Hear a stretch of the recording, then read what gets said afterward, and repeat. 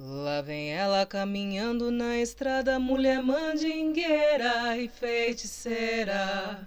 Ela é a mulambo da estrada junto com Exu Caveira. Lá vem ela caminhando na estrada, mulher mandingueira e feiticeira.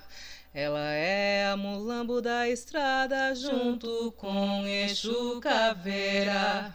Vem carregando seu tridente e levando todo o mal. Ela tem seus inimigos na ponta do seu punhal. Vem carregando seu tridente e levando todo o mal. Ela tem seus inimigos na ponta do seu punhal. Não brinca com ela, homem. Não brinca com ela, mulher. Ela vai te levar pro colo de Lucifer. Mulher mandingueira e feiticeira, ela é a mulambo da estrada. Não se engane, meu amigo, com a sua gargalhada. Não se engane, meu amigo, com a sua gargalhada. Lá vem ela caminhando na estrada, mulher mandingueira e feiticeira.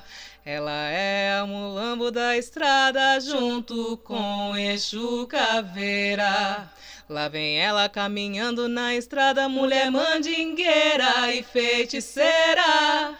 Ela é a mulambo da estrada junto com Exu Caveira. Laro, ye Maria Mulambo, Pombogira Mojba. Esse foi o vídeo de hoje.